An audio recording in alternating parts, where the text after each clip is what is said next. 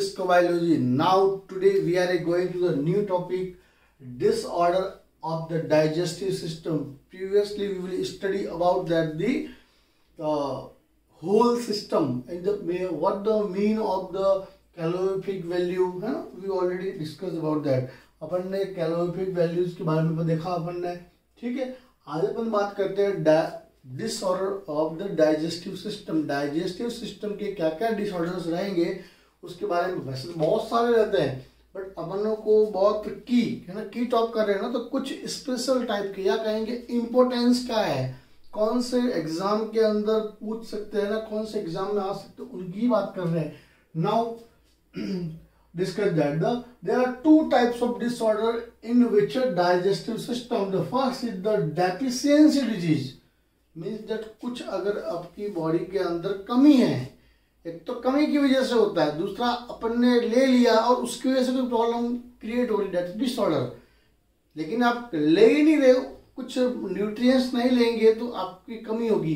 तो उस कमी की वजह से मीन्स डेफिशिएंसी क्या बोलेंगे इसको अपन? डेफिशिएंसी डिज़ीज़ तो डेफिशिएंसी आजकल इंडिया के अंदर जो पुअर पीपल्स जहाँ पे ज़्यादा रहते हैं, वहाँ ये कंडीशन बहुत ज़्यादा है। डेफिशिएंसी डिज़ीज़ जिनको प्रॉपर न्यूट्रिशन नहीं मिल पाने की वजह से ये चांसेस इन डिज़ीज़ के चांसेस रहते हैं। फ़र्स्ट बात करते हैं क्वाश्योर कॉर क्या नाम है? क्वाश्योर कॉर ये age one two five year old के बच्चों के बीच में रहता है। वन टू फाइव अगर एज वन टू फाइव के बीच में बच्चों, छोटे बच्चे अगर है, उनको अगर प्रॉपर न्यूट्रिशंस नहीं मिलेगा, कौन सा न्यूट्रिएंट प्रोटीन अगर नहीं दिया जाए प्रॉपर तो उसको कौन सी डिज़ीज़ हो सकती है? आपके क्वासियर को और वो एक तरह से सूख कर पतला हो जाएगा। जो सीरिया के अंदर आपको बता होगा, अभी कंडीशन चल रही है है ना? जहाँ पे बहुत अभी वॉर वगैरह भी हुए तो वहाँ के कैसे लोग इस तरह से। बात करें नेक्स्ट आपके मैरसमस डिज़ीज़ सेम है, दोनों सेम है, लेकिन ई का बिलो वन मीन्स एक साल से भी छोटे बच्चे के अंदर ये प्रॉब्लम हो सकती है। इसमें ये बच्चा बिल्कुल एक तरह से अपन कह सकते हैं कुपोषण का शिकार। है ना तो उसमें भी आपके एग्जैक्टली क्या कंडीशन होगी आपके प्रोटीन की कमी की वजह से इसमें भी आपके इसका भी पूरा एक तरह से पूरा जो बॉडी है, पूरा सूख जगह से कुट जाएगा एक तरह से, ठीक है? तो ये बिलो वन है ना वन ईयर से नीचे ये आपके one two five year old के बच्चे के अंदर देखा जाता है और दोनों ही दोनों किसके अंदर आपके प्रोटीन की कमी की वजह से होती है। Next night blindness night blindness रात को दिखता नहीं है। रात को दिखता नहीं है मतलब सीधी सी बात है आइस के अंदर कौन सा वाइटामिन होता है वाइटामिन ए जब तक वाइटामिन ए नहीं होगा तब तक आपके कॉन सेल्स और आपके रॉड सेल्स काम नहीं कर पाएगी प्रॉपर है ना विजिबिलिटी नहीं होगी मसल्स प्रॉपर आपके सर्कुलर मसल्स वगैरह आपके प्रॉपर काम नहीं कर पाएगी। और इस वजह से ये कौन सी किसकी वजह से होता तो कहेंगे वाइटामिन ए अगर इस, इस, इस किसी के मेरे भी स्पेक्ट लगे हुए मुझे भी प्रॉपर नहीं दिख रहा है अगर तो मेरे भी कहीं ना कहीं आपकी कौन सी प्रॉब्लम हो सकती है? आपके वाइटामिन ए की नहीं। मुझे वाइटामिन ए की कमी नहीं है। मेरी प्रॉब्लम कहाँ? किसके अंदर? लेंसेज के अंदर है। सिलियरी मसल्स होती है ना, उसके अंदर है। नाइट ब्लाइंडनेस नहीं है ठीक ना? दोनों अलग अलग बातें हैं। नाइट ब्लाइंडनेस किसके अंदर होती है? तो वाइटामिन ए की कमी होती है, उस उन लोगों के अंदर उसको रात को दिखाई नहीं देता है। फिर बैरी बैरी बैरी बैरी डिज़ीज़ एक तरह से बहुत टू टाइप्स की रहती है वेरी वेरी डिज़ीज़ के अंदर पूरी बॉडी के अंदर थकान वकान हो जाती है आपके, है ना, पूरे स्वेलिंग हो जाती है पैर के अंदर वगैरह।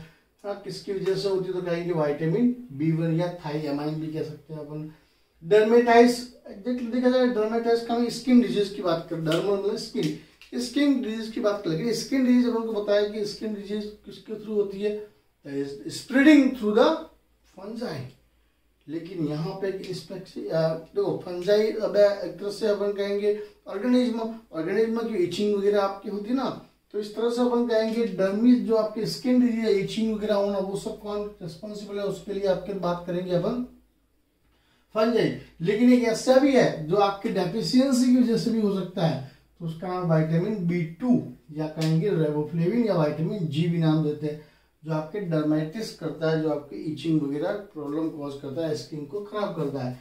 स्कर भी अभी बहुत इंपॉर्टेंट है, ये बहुत लोगों के अंदर भी पेंडेमिक टाइम के अंदर चल रही है, जो कोरोना काल के अंदर, है ना? तो प्रॉपर न्यूट्रिशन नहीं लेने से वाइटामिन सी स्कारबिक एसिड नहीं लोगे, तब आपके ये प्रॉब्लम आपके हो सकती है स्कर भी। ठीक है? चलिए तो ये अपन ने देखा डेफिशिएंसी डिज़ीज़ डेफिशिएंसी मतलब कमी। किसी न किसी चीज़ की कमी, है ना? तो ये ऐसे तो बहुत सारा वाइटामिन होते हैं। बट अपन ने बात की केवल इंपॉर्टेंट जो ज़्यादा मैक्सिमम क्वेश्चन पूछ जाते हैं इसकी बात की, ठीक है? बात करते हैं अपन डाइजेस्टिव डिसऑर्डर खाना खा लिया, उसके बाद में भी प्रॉपर एक्सरसाइज प्रॉपर मेंटेन नहीं आपकी बॉडी के अंदर न्यूट्रिएंट्स का लेवल तो उससे भी प्रॉब्लम क्रिएट हो सकती है। सबसे पहले फ़र्स्ट है हार्ट बर्न कभी कभी लगता है आपको खाना खाते हैं तो बिल्कुल जब जो बोलते जल रहा है यहाँ पे। तो जलता क्यों है? जब बहुत ज़्यादा एसिड हाई हो जाता है तो वो हाई एसिड हाई क्या करता है? वो बैक मारता है है ना? वो बैक क्यों मारता है? तो लिखा है इसमें by the quality stomach muscles आपकी जो स्टमक मसल्स है, उसको प्रॉपर डाइजेस्ट नहीं कर पा रही है। मसल्स वीक है। मसल्स के अंदर कुछ प्रॉब्लम्स आ रही है। मसल्स अपना काम नहीं कर पा रही है। तो उस कंडीशंस के अंदर क्या होगा? आपके जो भी एसिडिटी रहेगी एसिड रहेगा, वो बैक मारने लगेगा और फिर आपको लगता है कि जल रहा है हार्ट हार्ट नहीं जलता है जलता है एक्चुअली आपका फ़ूड पाइप ही है। ओके फिर नेक्स्ट है वॉमिटिंग वॉमिटिंग होना एक तरह से पूरा अपने कंट्रोल में तो है ही है, लेकिन मैक्सिमम जो उसका कंट्रोलिंग होता है, वो होता है आपके मेडुला के अंदर जो ब्रेन का पार्ट है, आपको पता होगा सभी को। है ना? ब्रेन का पार्ट जो वोमेस सेंटर होता है मेडुला वहाँ से पूरा सेंटरिंग होता है। सपोज़ कीजिए आपको वॉमिट करनी है तो आपको पहले अपने आप को मैनेज करना, तैयार करना पड़ेगा कि हाँ मैं वॉमिटिंग करना चाह रहा हूँ। मतलब आपने मैसेज ब्रेन को दिए ब्रेन ने मेडुला को दिए मेडुला तुरंत आपको सेंसेशन हुआ और वॉमिट ये सब कुछ सोचने पे होता है। किसी इंसान को अपन देख रहे वॉमिटिंग कर रहा है कि मुझे नहीं जाए, मुझे नहीं जाए, मुझे नहीं हो जाए, ऐसा सोचते अगर अपन कि शायद मुझे भी हो जाएगी तो वास्तव में ऐसा हो जाता है। तो ये सब ब्रेन का काम है है ना? पूरा तो वॉमिटिंग एक भी आपकी किसकी वजह से हो रहा है? आपके अनडाइजेशन की वजह से हो सकता है आपके डायरिया डायरिया सपोज़ देगा एग्जैक्टली अगर बात करें अपन तो अपन ने फ़ूड खा लिया। फ़ूड लिया फ़ूड लेने के बाद में डाइजेशन हुआ। डाइजेशन के बाद में काम मेन काम होता है एब्जॉर्प्शन जो आपके किसके अंदर होता है? आपके स्मॉल इंटेस्टाइन के अंदर आपके एब्जॉर्प्शन होता है। सो एब्जॉर्प्शन हो रहा है यहाँ पे। है ना? एब्जॉर्प्शन हो रहा है पूरा स्मॉल इंटेस्टाइन के अंदर। लेकिन कभी कभार क्या होता है कि यहाँ पे एब्जॉर्प्शन नहीं हो पाता प्रॉपर एब्जॉर्प्शन नहीं होगा तो यहाँ पर क्या होगा खाना तो आ रहा है तो यहाँ पे लिक्विडिटी बहुत बढ़ जाती है ज़्यादा क्या हो जाती है? लिक्विडिटी बहुत बढ़ जाएगी एब्जॉर्प्शन नहीं होगा, पीछे से खाना आ रहा है तो क्या होगा ये आगे बढ़ेगा। आगे बढ़ेगा तो लार्ज इंटेस्टाइन में जाएगा लार्ज एनस के थ्रू आउट तो उसको हम कहेंगे डायरिया कभी आयंस कमी से भी हो जाता है ये आपके। ठीक है?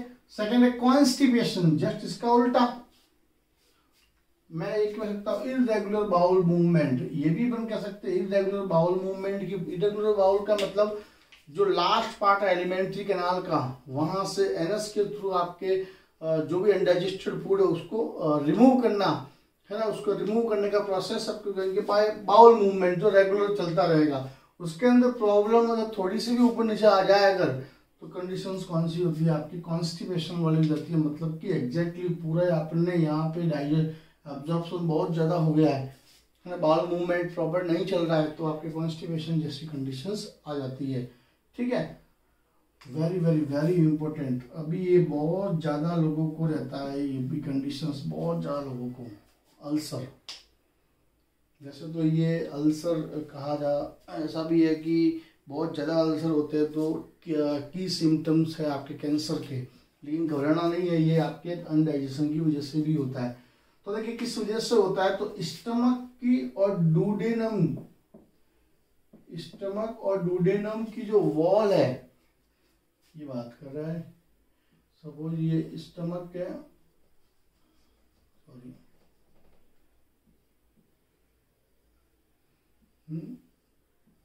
ये स्टमक है और ये डूडेनम है। इन दोनों की जो लाइनिंग है, इन दोनों की जो लाइनिंग है ये वॉल की लाइनिंग इनके अंदर इरोशन होने लगता है। मतलब वो टूटने लगती है, सड़ने लगती है एक तरह से। सड़ना नहीं कह सकते, टूटने लगती है, खराब होने लगती है एक तरह से। रक्षण होने लगता है, तब भी आपके अल्चर होने के चांसेस रहते हैं। इसके अलावा कोई लोग ज़्यादा स्मोकिंग करता है, तब भी होते हैं। कोई एल्कोहलिक ड्रिंकर्स है, या कहेंगे जो ड्रग्स सर्टेन ड्रग्स जो अनवांटेड ड्रग्स जहाँ लेते हैं, उनको भी प्रॉब्लम्स आती है।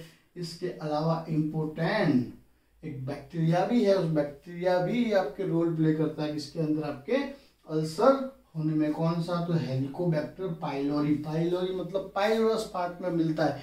किसका? कौन सा पाइलोरस पार्ट तो अपन कहेंगे इसका स्टमक का। फिर गॉल स्टोन गॉल का मतलब गॉल ब्लैडर के अंदर स्टोन कभी कभार हो जाता है कई लोगों को होता है है ना? हमारे भी घर में हुआ, किसी को तो गॉल स्टोन का मतलब क्या? ब्लड वैसे स्टोन आपने कहा देखा है? स्टोन एग्जैक्टली का किडनी के पेल्विक रीजन के अंदर प्रेजेंस होता है, लेकिन कभी कभार स्टोन आपके कहाँ प्रेजेंस हो जाए? अगर आपके गॉल ब्लैडर के अंदर स्टोन प्रेजेंस हो, इसको बोलेंगे अपन कॉलियथियसिस कैसे होता है? किसकी वजह से होता है? तो उसने लिखा सिंपल सी बात है। किसका रेशो गड़बड़ होने की वजह से?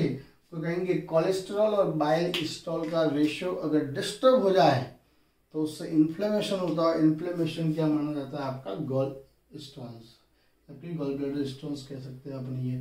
ठीक है ना? तो इस तरह से अपन ने डिसऑर्डर बात कर ली डाइजेस्टिव सिस्टम की। अपन ने अभी तक पूरे डाइजेस्टिव सिस्टम को पढ़ा है।